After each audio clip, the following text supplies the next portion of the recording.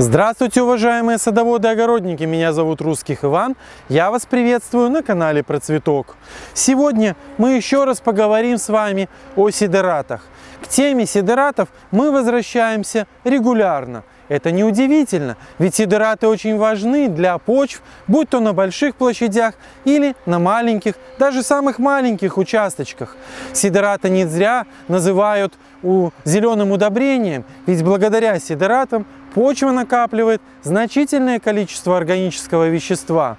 В наших выпусках мы иногда даже развенчиваем мифы или откровенные глупости, которые некоторые блогеры допускают о сидератах. На это можно обижаться, можно воспринимать здраво, не здраво, как угодно, однако же это необходимо для того, чтобы вы, наши зрители, наши подписчики, видели ясно, что сидераты очень важны и очень нужны. Разные блогеры, и мы в том числе, а, называют разные сидераты. Одни хороши, вторые не очень, кто-то одно рекомендует, кто-то другое.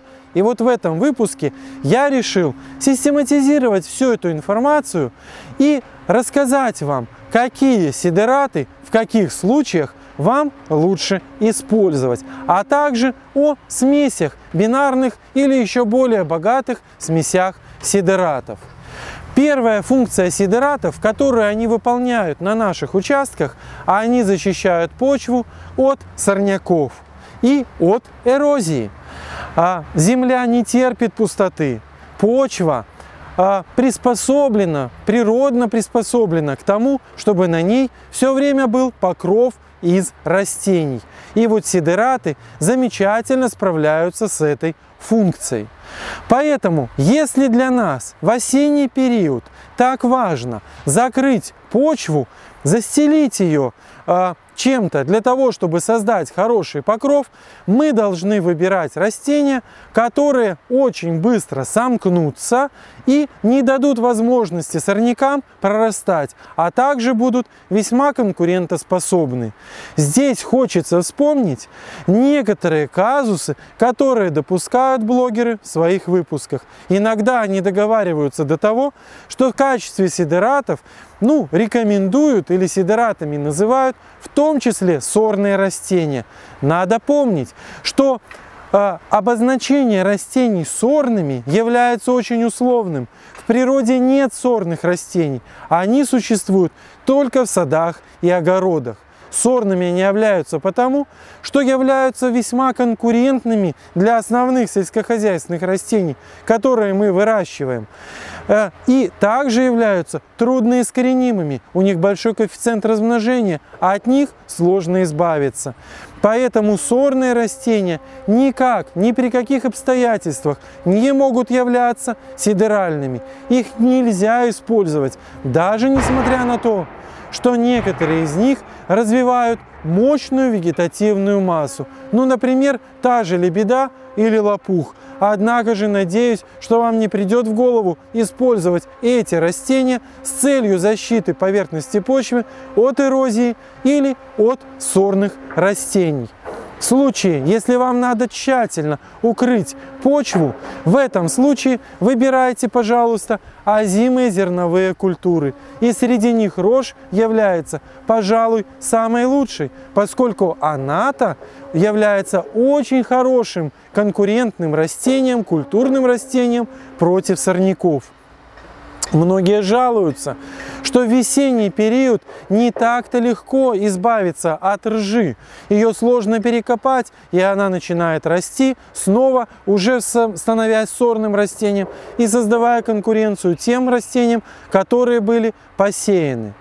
Однако же на самом деле нужно просто правильно выбрать фазу, когда перекопать эту рожь, заделать ее в почву.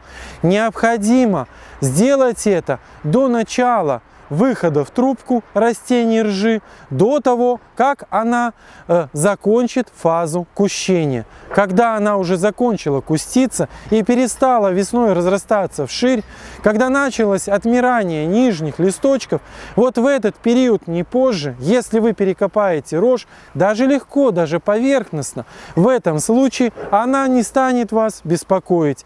Если же отдельные растения все-таки выживут и будут расти, вырвать их руками не представляется никакого труда совершенно. Еще одним растением, которое очень хорошо поможет избавиться от конкурирующих сорняков, является озимый рапс. Крупные его листья очень хорошо закрывают поверхность почвы и таким образом создают тень, не позволяя э, сорнякам прорастать и занимать место на грядках.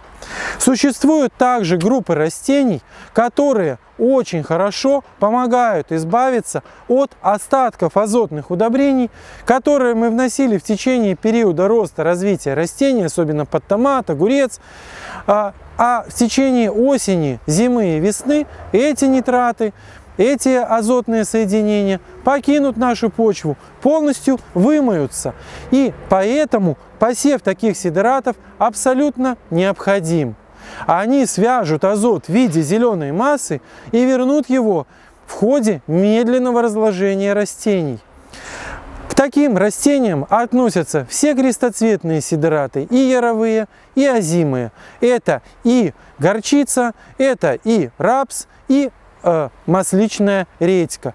Кроме того, к таким же растениям относятся и озимые зерновые. Это и э, пшеница озимая, и тритикали, и озимая рожь. Однако же лучше всего отдать предпочтение озимому тритикали или озимой ржи. Почему? Дело в том, что пшеница накапливает на своих корнях значительное количество корневых гнилей, поэтому э, она привнесет с собой еще и проблемы в виде фузариоза и прочих проблем заболеваний еще одна категория растений, которая очень хорошо мобилизует всевозможные нерастворимые питательные соединения, которые недоступны большинству культурных растений. К таким растениям относятся и озимая рожь, благодаря своему симбиозу с грибками, создающими микоризу, и гречиха является очень важным для этого растения и многие крестоцветные растения. Высевая их по одиночке или в смеси, вы добьетесь прекрасной мобилизации фосфатов и других элементов питания, кальция, железа, меди, многих микроэлементов. К тому же эти растения привлекают и фосфат-мобилизующие микроорганизмы способствуют их развитию. Высевая их, вы можете меньше беспокоиться о внесении того же минерального фосфора, можете снижать дозы фосфорных удобрений наполовину. Некоторые растения, такие как люпин, а также многие крестоцветные, способны избавлять почву от разнообразных почвенных патогенов, возбудителей корневых, прикорневых гнилей, даже таких опасных заболеваний, как фитофтора. Посев горчицы, посев рапса, посев редьки масличной вместе с бобовыми компонентами, а именно с люпином, позволяют вам существенно оздоровить почву. Если именно это является проблемой, делайте такие комбинации и высевайте. Еще одна категория растений с очень глубокой корневой системой способна добыть из земли питательные вещества из тех слоев, которые недоступны для большинства культурных растений, особенно с поверхностной корневой системой, такой как томаты. Для того, чтобы эти э, питательные вещества добылись, используйте горох, используйте другие бобовые растения, например, вику яровую или даже вику озимую, если семена ее доступны для вас. Таким образом, многое, что было вымыто в глубокие слои, будет возвращено и будет на будущий год доступно для ваших растений. Если уж мы вспомнили о бобовых растениях, необходимо обязательно обратить внимание на их способность к симбиотической азотфиксации. Многие бобовые, если не все, накапливают клубеньки, накапливают азот-фиксирующие бактерии, которые впоследствии а после себя оставляют значительное количество азота в почве. Если вы не приверженец минеральных азотных удобрений, в этом случае бобовые сидераты вам совершенно необходимы. Однако бобовые растения не одинаково накапливают азот.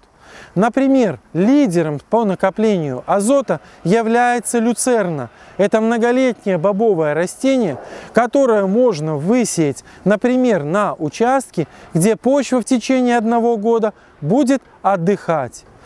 Посев люцерны позволяет в полной мере обеспечить азотным питанием культуры следующего года. Это и картофель, это и капуста, и огурец, и томаты, и многие другие овощи, чувствительные к недостатку азота в почве. Если же вы не планируете а, оставлять на год землю без культурных таких вот растений, которые предназначены для получения урожая, то лучше всего посейте горох. Горох-пелюшка с длинными корнями, то есть с окрашенными цветками, пелюшка с окрашенными семенами. И с его азот-фиксирующей способностью вполне подходит для участков, где нужно и достать питательные вещества с глубины, и обеспечить поверхностные слои почвы азотным питанием. Многие растения способны избавить ваш участок от таких опасных вредителей, как нематода. В первую очередь к ним относятся все э, крестоцветные сидераты, а именно горчица, э, рапс и редька масличная. Кроме того, таким же свойством обладает люпин. Однако надо не забывать что не каждый люпин обладает таким свойством. Им обладают лишь сорта люпина, которые содержат в своем составе алкалоиды. И скажу вам честно, такие сорта люпина добыть в магазинах совсем непросто. Семеноводство таких сортов практически нигде не ведется.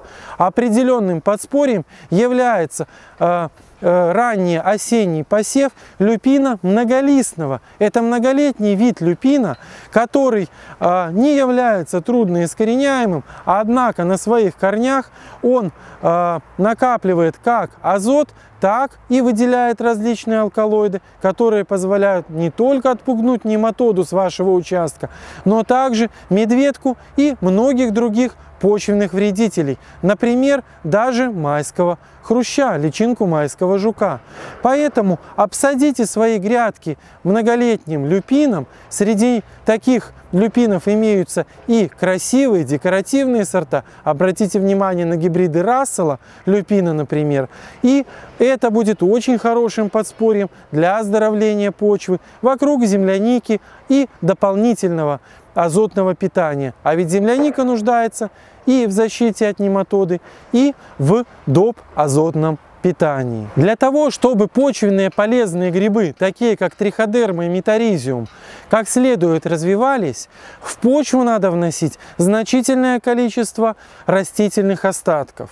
Вот возможность формирования большой зеленой массы для внесения этих растительных остатков обладают зерновые культуры.